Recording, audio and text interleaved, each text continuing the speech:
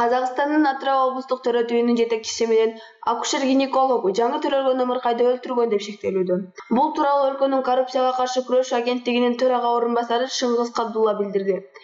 Анын айтымында жарык дүйнөгө келген наристе дарыгерлердин чалаакылыгынан улам өлү төрөлгөн деп катталып калган коррупцияга каршы күрөшүү агенттигинен билдиришкендей баланын өлүмү тууралуу башкы дарыгерине карата башка иш боюнча тергөө жүрүп жаткан маалда кокусунан белгилүү болду.